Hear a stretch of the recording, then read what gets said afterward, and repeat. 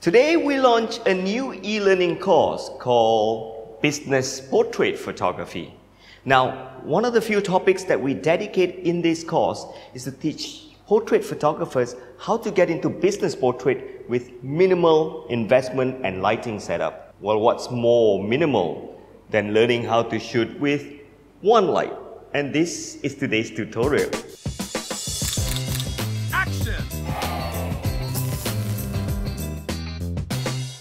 And I find today's tutorial interesting because I got a real life business portrait client agreeing to model for today's tutorial. Everybody, the lovely Shami. I know you've seen a lot of YouTube tutorials about one light photo shoot, but this is my number one secret. Step one, get yourself a wall, preferably a white wall. Step two, I know that a lot of people do not like to perform a photo shoot standing up. They just do not know what to do with their hands. Hence, get yourself a table so that your subjects can lean on this table and you will always have a natural hand pose. And this table is exactly what I'm going to give Shami today. With Shami comfortably leaning on the table that I gave her, position this table about six feet away from the wall. Next step, add on the light. I've just dragged in a studio monoblock 600 watt per second with a square rectangular softbox and position it behind Shami.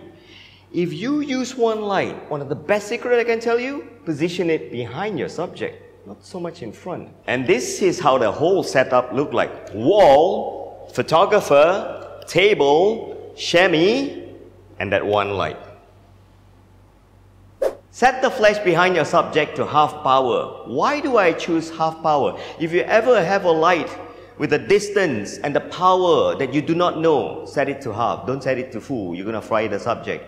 Now let's go through the settings that I will use on my camera. Not knowing what's the power of the flash there, I would use an ISO of 200 on my camera, an f value of f8, somewhere in the middle, and then a shutter speed of about 1 over 100. Try not to break the sync speed of 1 over 200. So, we're ready now. Let's do the shoot. Wait. Don't do the shoot yet. Shami, I need you to step away from a wall. This is the process that I'm going to teach you how you get a perfect white background.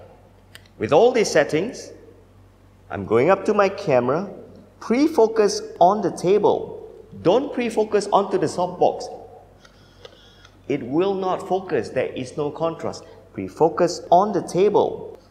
Lock, recompose, and boom, take a shot. This is what you will see. But remember to look at the histogram. The aim here is to get one line on the extreme right hand side of your histogram. When you get that, your background is perfectly white. If your background is not perfectly white, this is how it will look like on the histogram. So the aim here is to get it flushed on the right hand side of the histogram. Now, you add the Shami. With the subject in front now, focus on her eyes. Take that shot. Whoa, when you see a shot like this, it means two things. That the flash behind your subject is probably too bright, or second, your F number is too low. So I'm doing F8 now. So the first thing I'll do is increase the F number. Hence, I'll try F16. Not a good choice, but let's try anyway. Chin up a little bit, that's beautiful. Smile a little bit more. Good. Okay, this is what I get now. The background is still white, but Shami now is too underexposed. So which means that my F value is too high. So what I like to do, instead of shooting at f16, you can drop your f value. Remember this rule, when you add flash, aperture controls the exposure of your subject. So how do I make Shami brighter? Look at this histogram. That's Shami. This part of the histogram. That's her face, that's her white dress. So I will just drop my F number to F11 and smile a bit more, chin up a bit, and boom, so now you have a problem. This is too bright, subject is too dark, and this one still flat, when you see a combination like this, even though you go from 8, 11, 16, it looks like none of this problem is contributed by your F number. That means the flash behind you is simply too bright. So we need to drop the power. So what did we learn today? If you see flare in your photo and changing the F number doesn't help, bring this power down. I'm going to bring this right down to minimum. I do not like to use high F value on subjects because it would just bring out the wrinkle. With the flash power reduced, I'm back to F8 now and come to the front. Smile a little bit more. Boom. Done. Your one light shot with minimal power on the flash behind the subject at F8. That's how you do a one light. So the secret is light behind your subject, wall in front of you. Even better, in future, get to lean on the wall. And I know, I know which one you're gonna like. This one. Yes, I like this. But I find that it's that you know the post is a little bit too glam. It's not like a bis. It's okay, I like this. I know you hired me to do a business portrait. We need to still make this look a little bit more business portrait. Okay. When that happens, add a pen. Somebody get a pen, and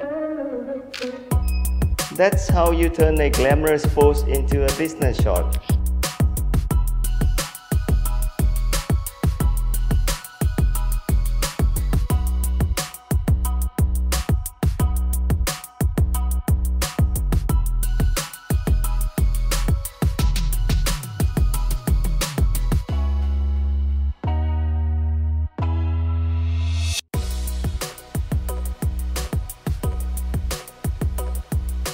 And that was one light business portrait. That's how you do it.